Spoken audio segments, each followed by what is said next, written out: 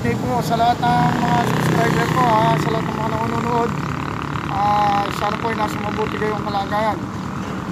Ah, ngayon po ay gagawa na naman tayo ng panibagong vlog ah, dito sa aming barangay.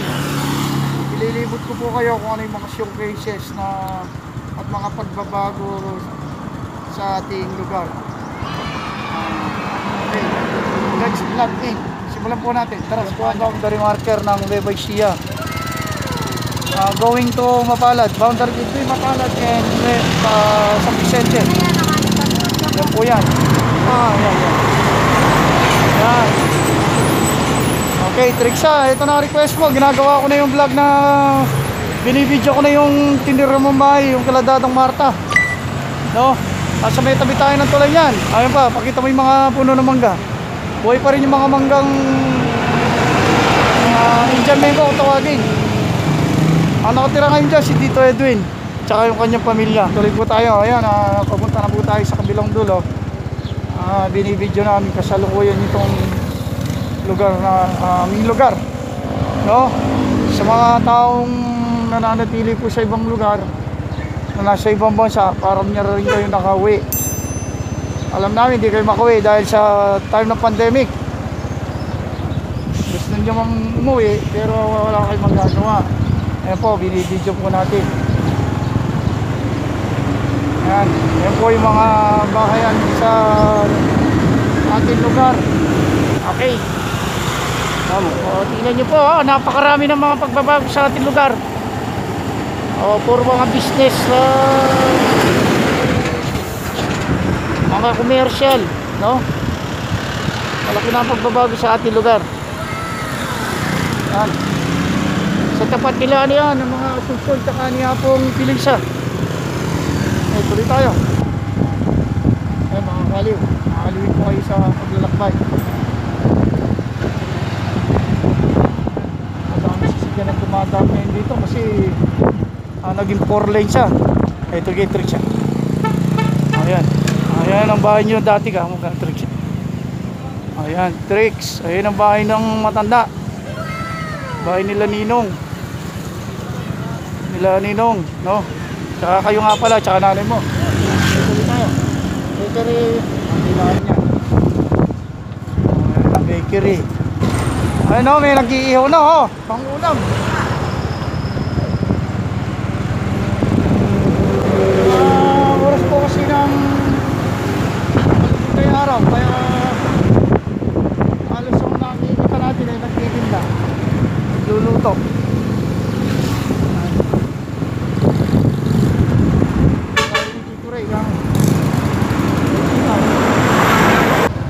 Po tayo sa may gawing floodway niyan. Sa may Pangulo, ang tinatawag. Okay. Saan muna tayo dito? Ah, kabila mong ganun eh. Okay. Ito yung dating kaya po si Sar. Yan.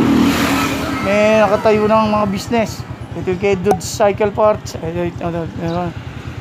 Ang mga kainan. Kabila naman. Yun, tindahan. Ayan. Mga asesado rin mga taga rito. Hindi tayo. Samahan niyo sa paglalakbay.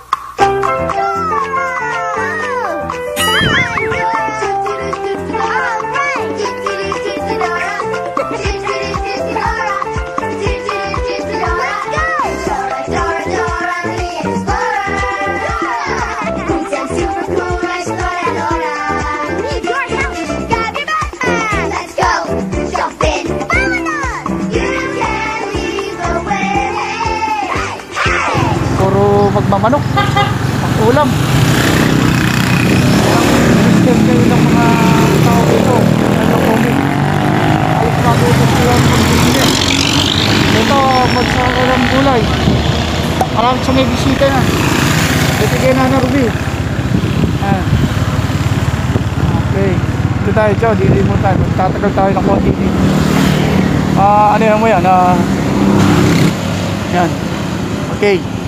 Yan po yung ating bisita, yung ah, San Vicente Chapel. Oh. Napakalaki na ng pagba- pagbabago ng ating bisita. Ano, na renovate na po. Mayroong nagmagandang loob na pagandahin yung ating bisita. Ayan. Tuwing maga mayroong nagsusumba dyan. Yan. Dati basketball court ang harapan yan. Ngayon malinis sa malinis na naka, naka-landscape. Okay, tuloy po tayo. Ayan. Balik tayo sa may school. Oh, dyan. Yan na. Okay, yan ang parla na San Vicente. Ito, may Alphamart na dyan, oh. Okay. Ito yung irrigation tricks, yan. Tabi, barber shop. Barber shop, yan. Oh. Yan ang Kalatata Selo. Katabi niya, uh, Aquaplo. Water station. Water filling station pala. Yan ang vulcanizing ng mga kebaw. Nandito na tayo sa Bloodway. Uh, Kasalukuyin tayo nag-araround. Tubig. Tama, tapos na sila ng bilad ng palay. Ginagawa kasi pilar ang palay ngayon sa lugar nito eh. Ito, napakarami na sasakyan. Ah, para lang updated kayo sa lugar natin. Patay lang yung init at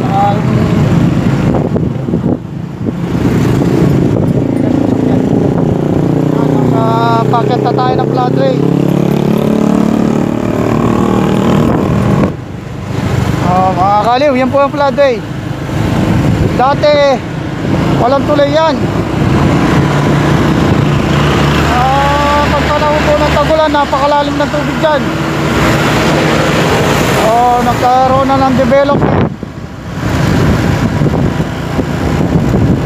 Sa ibaba po na yan, floodway. Tulay po itong dinadaanan natin. Sana po ay naaliw kayo sa ginagawa natin video para na rin kayo nakapunta sa aming lugar. Boundary to boundary po ang ginagawa natin video.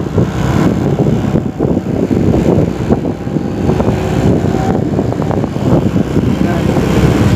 Ah, haba ng tulay oh. Ganong gastos niyan. Nakalagay ng gastos. Hindi na lang napagawa na ng gobyerno. Okay. Ah, Martin, welcome to Barangay. Ako ma. Oh. Okay, nandito na tayo ngayon sa boundary. Ah, going to Concepcion. Yan, Barangay Concepcion yan. Sako pa rin po ng Kabyaw yan. Okay, babalik na tayo. Kabila naman ang i-video natin. Yan.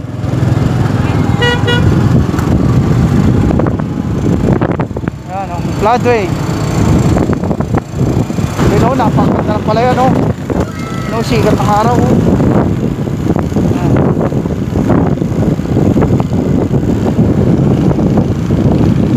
Floodway. Yan o. Pag ganyan po panahon, may mga tanim na pala yan. Hindi hindi ako nagkakamali, mga tatlong lagayan na yan.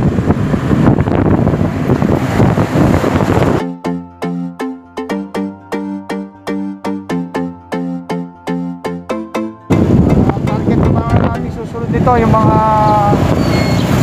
uh, nagsisikat ang mga resort no? pakalaki na ng footprint ng sasakyan. ito yung katong papuntang ilog yan ang bilang yan katong papusa yan mga nakaparada sa sasakyan naman na yan. Ah maglulugaw sila dito sa mga lugaw dito. Ng antayin ng lugaw sa atin. Ito lang. Yan yan ang mga lugawan. Yan mga lugawan. Punta tayo dito kay Belbel. Ayan o halos mga lugawan na kayo yan balik na tayo. Dito kay Belbel o yan ang Robel Resort. Ayan tayo Belbel eh hindi po tayo makakapasok wala po yung bantay. Tuloy lang po tayo.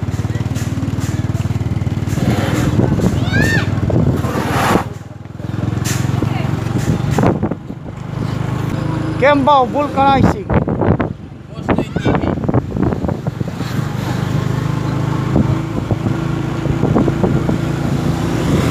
Ito yung kila Tata Selong yan.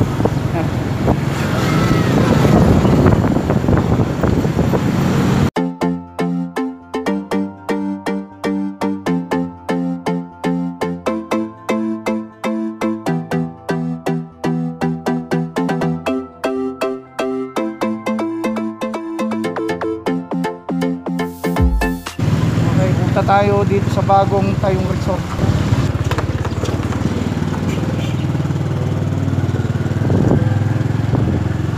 Yan, nasa ano tayo, pamunta ka na Tatarino yan.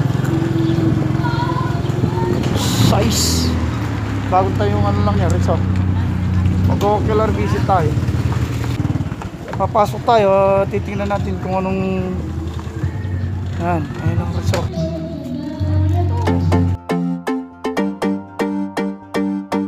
Video pero nakikita ko po pero naglalaki yung mga bahay.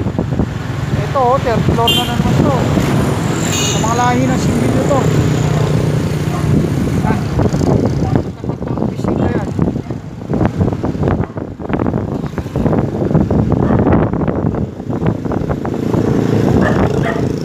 Yan, ang San Vicente. Video. Na para din ngayon naglag, naglakbay sa San Vicente. Boundary to boundary.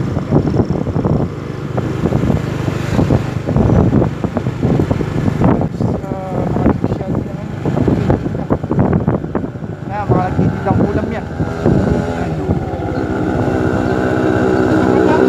Ah, mga kaliw, nandito na tayo sa aming bahay. Ah. Nakatapos na rin tayo dun sa ginawa natin video. Oo. Na para din kayo nakapaglakbay dito sa aming lugar. Ah, yung pong mga showcases at saka yung mga pagbabago. No? Ah, sana po ay nasa mabuti kayong kalagay habang pinapanood nyo ang aming video. Ah, stay safe po tayo and God bless.